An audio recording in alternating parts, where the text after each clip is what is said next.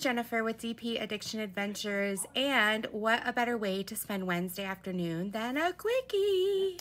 Okay, well, not an actual quickie, not that exciting, but it is exciting to me because it is a quick unenveloping.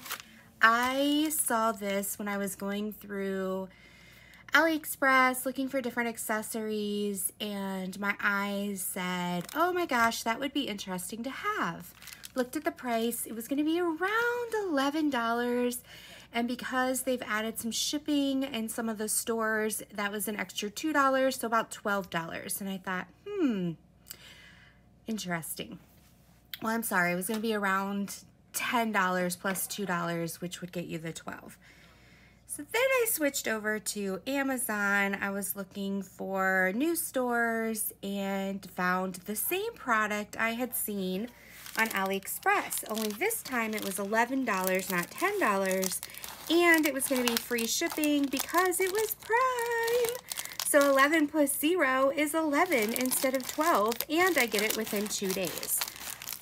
I wanted to share it with you. Do, do, do, do. What is it? Interesting. It's not what I thought it would be. Anyway. Surprise! It's almost like a live camera. You don't have to get cut out. Okay, so this is a ceramic paper cutter pen and it's supposed to be a random color and it showed yellow, orange, and green and I got a white one. Oh well, it is what it is. I thought I was getting three. I guess I'm only getting one. Maybe it wasn't a good idea. We'll check into that. So what I liked about this is it's a ceramic tip right here and you're supposed to be able to like run your finger across it and it's not going to hurt you, right? But yet you're supposed to be able to cut your paper. So I have my current Who Can custom I'm working on. It has the opaque paper and I thought this, for all of those who use the washi tape method on clear covers or we use the opaque and we use this, I wanted to see if there was a different option, and this is considered a ceramic pen cutter. So let's see how it works.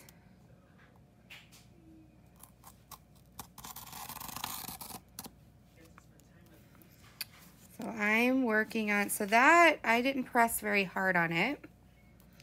And it, it like perforated it so I can pull it right off. Now I'm going to get right up here where I'm not on drills to see if I can get a clean cut straight across. And it cleanly cut.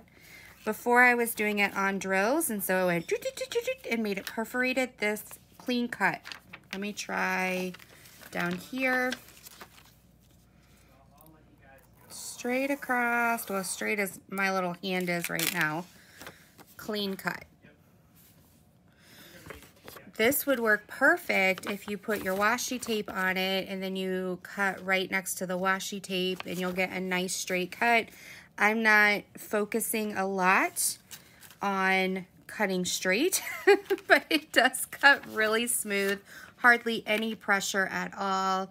This is great. It looks like it has a tiny, let's see if I can get it focused maybe, maybe not. It has a tiny little, almost looks like a tag that we have on our drills, but that I believe is the actual cutter. So I'm gonna go look on Amazon, see if it listed as one pen or three, because maybe I got screwed, who knows? But I'm not gonna really edit this, so you guys can see that, you know, read the fine print, make sure you're getting the deal that you want, but I, I give this so far a good A+. plus. I'm going to be testing it and continuing with my review process, I love also that it can stay in your pen holder and it can be a great accessory for you and your diamond painting future.